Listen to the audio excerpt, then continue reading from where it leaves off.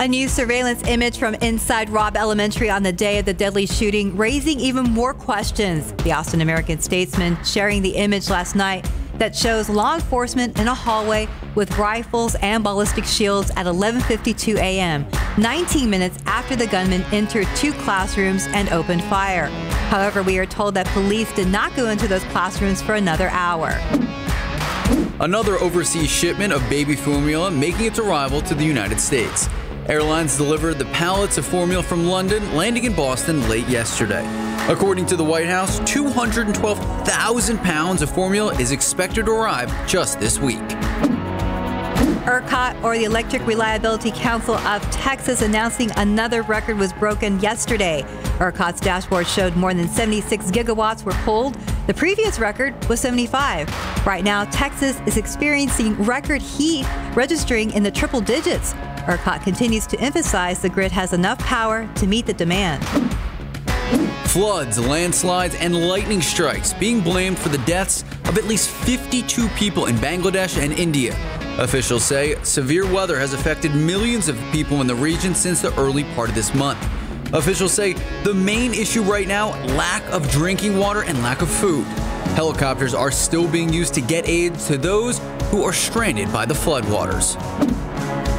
History is made in Colombia. Gustavo Petro is Colombia's first leftist president, and his vice president, Francia Marquez, is now the first Afro Colombian to hold executive powers in the country.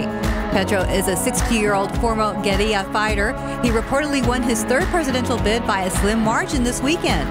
Petro says if he won, he would focus on food security and seek negotiations with President Joe Biden to sign a new deal around clean energy production and the protection of the Amazon. Today is Prince William's birthday, the monarch turning 40 years old. Since his birth, the world has watched the prince assume his role and assume his place as the next heir to the throne behind his father, Prince Charles. William is using his 40th birthday to address poverty and homelessness. In the United Kingdom, marginalized people can actually earn money selling the magazine entitled The Big Issue. Ahead of today, the Duke of Cambridge took to the streets to sell copies of the magazine.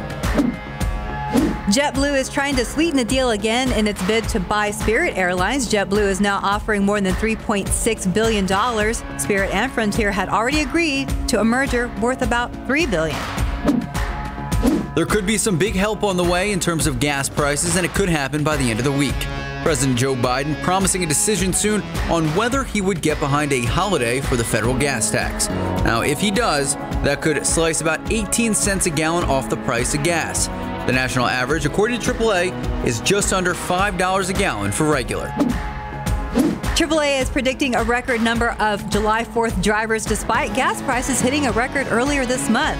The group predicts 42 million Americans, more than ever before, will take a road trip of 50 miles or more. The national average per gallon on Monday stood at $4.98. AAA says travel demand is not tapering off despite the higher expenses.